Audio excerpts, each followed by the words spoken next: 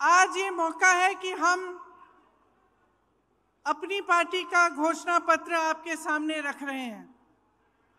आपने देखा होगा, कल एक सभा हुई थी दिल्ली में और ये घोषणा पत्र देश के सामने रखा गया। इसे हमने न्याय पत्र का नाम दिया है, ताकि ये स्पष्ट हो कि ये सिर्फ़ घोषणाओं का की एक सूची नहीं है, जिन्हें हम चुनाव के बाद भूल जाएँगे। ये एक संघर्ष की आवाज़ है, इस देश की आवाज़ है, जो आज न्याय मांग रही है। और इसका मतलब क्या है? देखिए, आज की परिस्थितियाँ क्या है? आप मुझसे अच्छी तरह जानते हैं, बेरोजगारी चरम पे है। पैतालीस सालों में इतनी बेरोजगारी नहीं रही जितनी आज है। आपने दस सालों से मोदी जी की सरकार देखी, भाजपा की सरकार देखी। और अगर आप एक दूसरे से पूछते हैं अड़ोस पड़ोस के घरों में जाते हैं, अपने घरों में खुद झाँक के देखते हैं तो क्या पता चलता है, क्या किया इन्होंने बेरोजगारी को हटाने के लिए। बड़े बड़े वादे किए थे। बड़ी बड़ी घोषणाएँ की थी। एक भी पूरा नहीं किया। आज बेरोजगारी बहुत ज़्यादा है और इन्होंने क्या किया? अग्निवीर जैसी स्कीम लाई, जिससे वो बच्चे, वो नौजवान जो मेहनत करके रोज रोज वर्जिश करके टेस्ट लेते हैं सेना में जाने के लिए, उनकी आशाएँ टूट गई। पेपर लीक हो रहे हैं हर प्रदेश में। जहाँ देखिए नौजवान मुश्किल से पढ़ाई कर रहा है माता पिता कमा कर उसको मुश्किल से लोन लेके कैसे भी उसकी पढ़ाई करा रहे हैं, उसके ट्यूशन करा रहे हैं। पेपर लीक हो जाता है, नौकरी नहीं मिलती। ये परिस्थितियाँ हैं। आज महँगाई की ये परिस्थिति है कि ठीक है, चुनाव आने लगा तो दो महीने पहले इन्होंने गैस सिलेंडर का दाम कम कर लिया, लेकिन इतने सालों से क्या दाम था? इतने सालों से आप क्या देख रहे हैं? आपका अनुभव क्या है? मेरी बहनें जानती हैं। त्योहार आता है, घबराहट होती है कि कैसे खर्चा करेंगे? लिपाई पुताई कैसे कराएँगे? त्योहार के लिए नए कपड़े कैसे खरीदेंगे? दुकान जाएँगे, क्या खरीद पाएँगे? ये परिस्थितियाँ हैं। किसानों की क्या परिस्थिति है? किसान सड़क पर आंदोलन करता है। प्रधानमंत्री जी उनकी सुनवाई ही नहीं करते। जीएसटी से मारा जा रहा है। हर चीज़ पे जीएसटी लगी जा रही है। पेट्रोल, डीजल के दाम आसमान छू रहे हैं। और किसान अपनी मेहनत से अपने बच्चों को पढ़ाता है, लिखाता है, कोशिश करता है पूरा। पूरी अपना पसीना बहाता है। अपने बेटे को सेना में भेजना चाहता है। वहाँ पे भी रुकावट, कमाई में भी रुकावट। महँगाई बढ़ती जा रही है, बेरोजगारी बढ़ती जा रही है। और एक अनोखी बात है, आपने देखा होगा पिछले पाँच सालों में, क्या इन चीज़ों की, ये जो परिस्थितियाँ हैं आपके, ये जो संघर्ष हैं, क्या इनके बारे में आपको टीवी पे कुछ दिखता है? क्या मीडिया में दिखता है? क्या अखबारों में पढ़ने को मिलता है कि भाजपा की सरकार आते ही राजस्थान में चिरंजीवी स्कीम बंद हो गई, कि 25 लाख की आपको बीमा मिल रही थी स्वास्थ्य के लिए, कांग्रेस पार्टी दे रही थी। और आज पाँच लाख हो गया है। क्या ये चीज़ें आपको पढ़ने को मिलती हैं? क्या इसके बारे में आपको जानकारी मिलती है? तो परिस्थितियाँ इतनी खराब हैं देश में। जो गरीब है, उसके लिए कोई सुनवाई नहीं है। उसके लिए कोई आगे का रास्ता ही नहीं है। बड़े बड़े उद्योगपति हैं। आपने खुद देखा किस तरह से महलों में रह रहे हैं, उनकी शादियाँ किस तरह से होती हैं। और देश की जितनी भी संपत्ति है, उनको सौंपी जाती है। उनके हज़ारों करोड़ के जो लोन है, वो माफ़ हो जाते हैं। किसान के दस हज़ार के लोन के लिए किसान आत्महत्या करता है। ये परिस्थितियाँ हैं आज, लेकिन आपको जानकारी नहीं मिलती। आप टीवी देखते हैं तो अच्छी अच्छी चीज़ें दिखती हैं सिर्फ़। होर्डिंग देखते हैं तो बड़ी बड़ी अच्छी अच्छी चीज़ें दिखती हैं। क्योंकि सबसे भीषण जो प्रहार है आज, वो आपकी जागरूकता पर हो रहा है। जनता की जागरूकता पर हो रहा है आक्रमण। चाहे वो मीडिया की तरफ़ से हो, टीवी की तरफ़ से हो, भाजपा की पूरी जो मशीनरी है उसकी तरफ़ से हो। तो जानकारी आपको मिल नहीं रही है सही। जनता सोच रही है कि किसी का तो भला किया होगा। अच्छा अच्छा दिख रहा है इश्तिहार, टीवी पे दिख रहा है सब कुछ तो किसी का तो भला हुआ होगा। इसीलिए ये सब हो रहा है। लेकिन असलियत क्या है? इसको पहचानने का अब समय आ गया है। आपको सिर्फ़ ये सुनाई देता है 400 पार। आपको सिर्फ़ ये सुनाई देता है कि मोदी जी कहाँ भ्रमण कर रहे हैं। कभी आसमान में, हवा में, हवाई जहाज़ में उड़ रहे हैं। कभी समुन्दर के अंदर जाके नीचे, पानी के नीचे हैं। तो यही दिख रहा है आपको। लेकिन आपको ये नहीं दिख रहा कि आज इस देश की असली परिस्थितियाँ क्या है। ये सिर्फ़ आपको अपने जीवन में दिख रहा है, अपने अनुभव में दिख रहा है। सिर्फ़ आपके संघर्ष आप पहचान रहे हैं। इस इस देश की सरकार इसको पहचान नहीं रहे हैं। आप जानते हैं कि दस सालों में जहाँ जहाँ आपको तकलीफ़ हुई, वहाँ कोई आपकी मदद करने के लिए नहीं आया। जितनी भी स्कीमें हैं बड़े बड़े उद्योगपतियों के लिए बनी हैं। ये कहते हैं, आपको पाँच किलो राशन देंगे, लेकिन आपको रोज़गार नहीं देंगे। आपके बच्चों को अपने पैरों पे खड़े होने का मौका नहीं देंगे। तो आपको अब जो समय आ गया है कि आपको जागरूक बनना है, ये आप बहुत अच्छी तरह से समझ लीजिए। जब हम न्याय की बात करते हैं, हम ये कह रहे हैं, ये पहचान कर कह रहे हैं कि आपके जीवन में अन्याय हो रहा है। चाहे वो गरीब हो उसकी सुनवाई नहीं है। चाहे कमज़ोर हो, उसकी सुनवाई नहीं है। मजदूर की सुनवाई नहीं है। आज स्त्री की सुनवाई नहीं है, उसकी कहानी कोई नहीं सुनाता।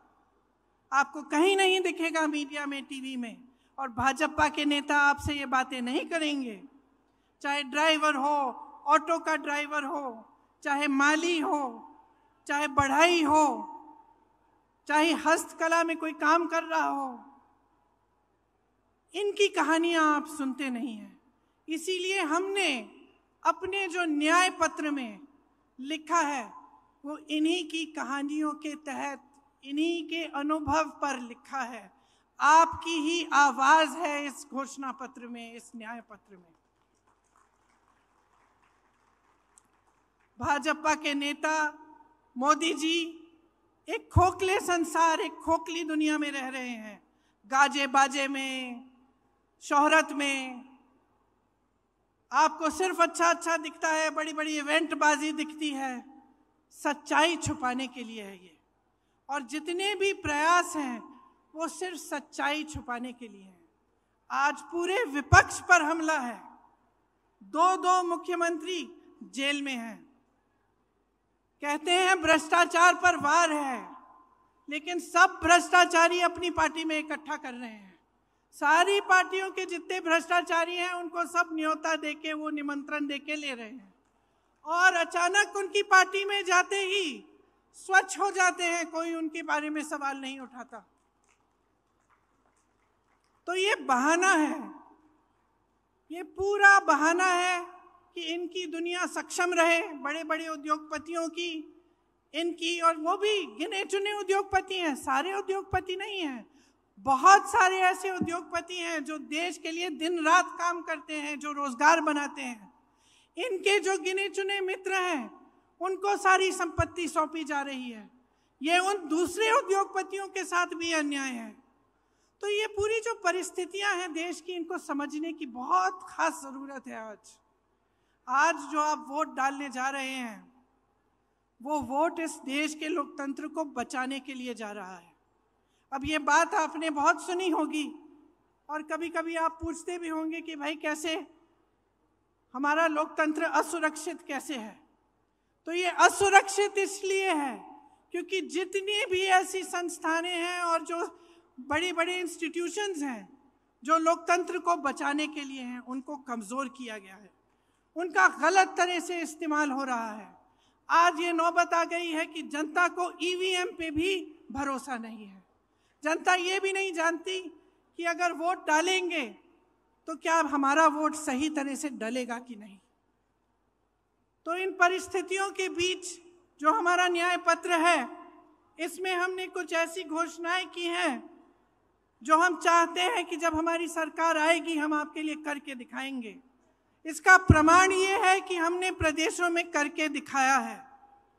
जिन प्रदेशों में हमारी सरकार रही, उनमें राजस्थान भी था। आपने देखा कि राजस्थान में किस तरह से जो स्कीम लागू करवाई थी। और जैसे मैंने कहा, चिरंजीवी जैसी स्कीम है, जिससे आपको पूरी तरह से स्वास्थ्य की सुविधाएँ मिलती थी। तो हमारे न्याय पत्र में किसानों के लिए पाँच गारंटी हैं। एमएसपी का को हम कानून बनाएँगे। गहलोत जी ने भी आपको बताया।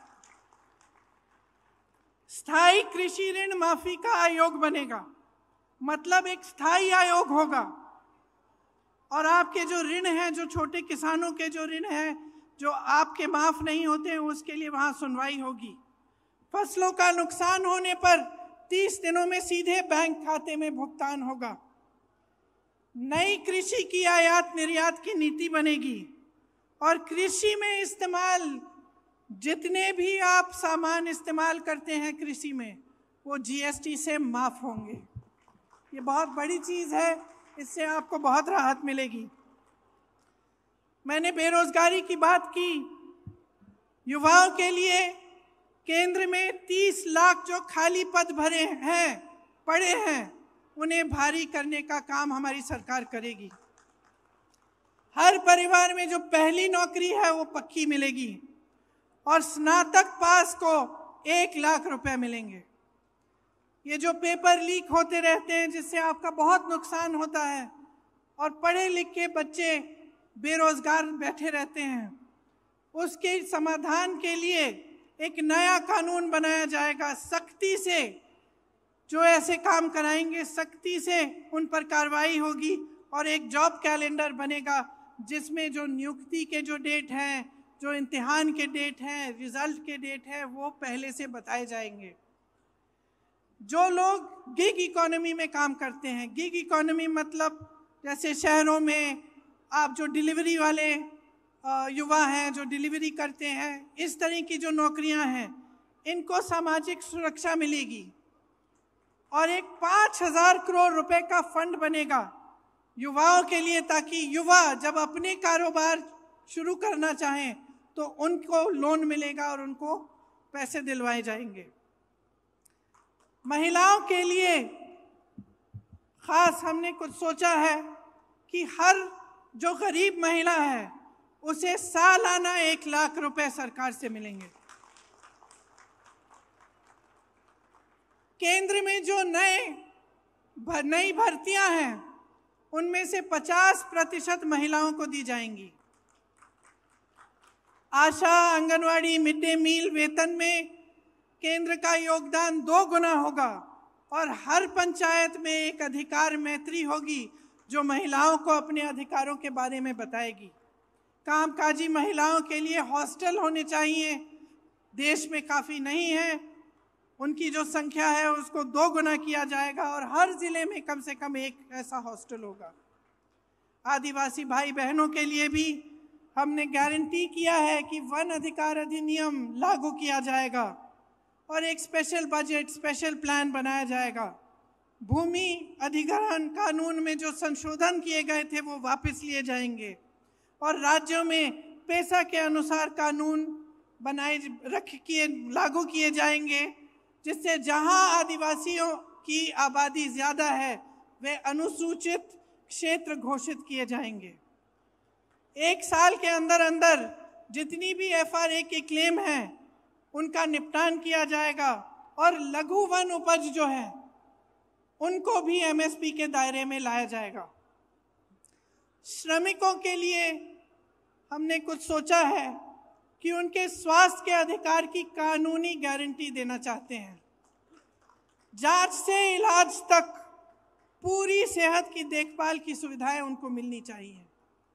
और राष्ट्रीय न्यूनतम मजदूरी चार सौ रुपये प्रतिदिन की गारंटी हम करेंगे। और शहरी क्षेत्रों के लिए रोज़गार गारंटी का कानून लागू होगा। जिस तरह से ये कानून गाँव में लागू होता है। देखिए, ये हम न्याय की गारंटी दे रहे हैं आपको। हम लोकतंत्र की रक्षा करेंगे। हमारे पूर्वजों ने इस लोकतंत्र को बनाने के लिए अपना खून बहाया है। इसी कांग्रेस पार्टी ने, जिसके आप मेरे कार्यकर्ता भाई बहन यहाँ बैठे हैं, इसी कांग्रेस पार्टी ने इस देश के स्वतंत्रता संग्राम को बनाया और उसमें अपना तमाम नेताओं ने जान दी, जीवन दिया और इस देश का निर्माण किया है। मैं सिर्फ़ एक आग्रह करना चाहती हूँ, अपने कार्यकर्ता भाई बहनों से और खास तौर से इस देश की जनता से इस देश के एक एक नागरिक से ये मेरा आग्रह है, इस चुनाव को आप अपने मुद्दों पर लड़वाइए। जो आपके जीवन का अनुभव है, वही सत्य है, वही सच्चाई है। जो आपको दिखाई दे रहा है टीवी पे, इश्तिहारों पे, होर्डिंग्स पे, ये सच्चाई नहीं है। जो ये मोदी जी ने इवेंट बाजी बना रखी है, गाजा, बाजा, ये सब जो लोग सोचते हैं कि धर्म के नाम पर, जाति के नाम पर, या आपका ध्यान कहीं और आकर्षित करके गद्दी पर सुरक्षित रहेंगे, उनको सच्चाई दिखाइए। क्योंकि जब तक आप अपने अनुभव पर उतर कर अपना वोट नहीं देंगे, जब तक आप अपनी सच्चाई, अपने सत्य, अपने अनुभव के आधार पर इस देश के निर्माण को नहीं करवाएँगे, तब तक ये हालात बदलेंगे नहीं। और हम ये हालात बदलना चाहते हैं। हम आपके हालात बदलना चाहते हैं। हम चाहते हैं कि आप अपने पैरों पे खड़े हों, कि सब सुविधाएँ आपको मिलें, कि देश की सारी संपत्ति आपके हाथों में जाए। इसीलिए ये चुनाव आपका चुनाव होना चाहिए। ये चुनाव इस देश के लिए होना चाहिए, इस देश की धरती के लिए, इस देश की मिट्टी के लिए, इस देश के लोकतंत्र के लिए, इस देश के संविधान को बचाने के लिए। और मेरा, मेरी पूरी उम्मीद है कि इसी आधार पर आपका वोट जाएगा। तो आप सबको बहुत बहुत धन्यवाद। कुछ लंबा मैं बोली। अध्यक्ष जी को भी बोलना है। आपने बहुत ध्यान से मेरी बातों को सुना है इसके लिए बहुत बहुत धन्यवाद। मेरे साथ एक बार बोलिए, जय हिंद!